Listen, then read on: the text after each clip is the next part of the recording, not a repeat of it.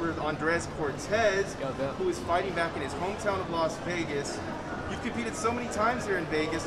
My first question to you is: Is it more stressful fighting at home or on the road? Uh, I, lo- I love fighting in my hometown. Uh, I, I think I bring a lot of people, so it's uh, energy. I love it. I love it. When it comes fight night, um, you know, there's no excuses for me not to do great. You know what I mean? I have all the people behind me and my whole city behind me. How do you avoid distractions? Um, I've been fighting here for like majority of my career, so I mean, all my people already know. Um, you know, a couple days before to talk to me or talk to my family. So uh, everything's on, in line. They know to give you your space uh, up, uh, a few days before fighting. So your opponent is Abraham Montoya, who fought Gabe Flores Jr. and lost a razor thin decision. He looks to give you a stiff challenge on Saturday night. How do you plan on boxing him?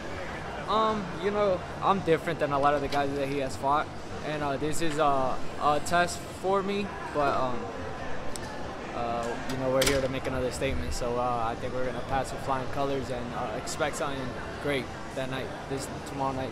So with 10 knockouts, you have pretty good pop. Yeah. My question is, what did you do in training camp to prepare for this fight?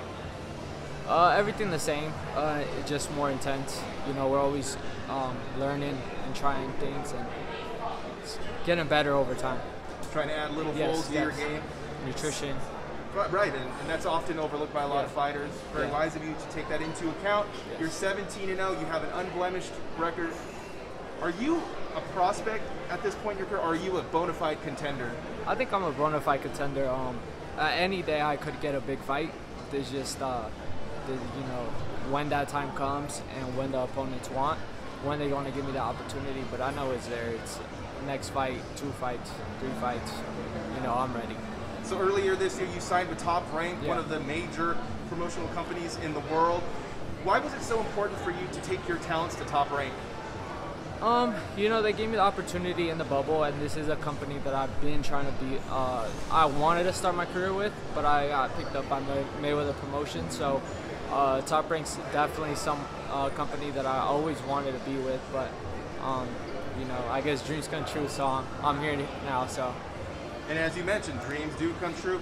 You're on a big platform on Saturday.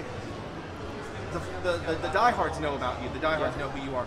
What kind of performance do you need on Saturday to make inroads with the more casual boxing fans? another knockout, baby.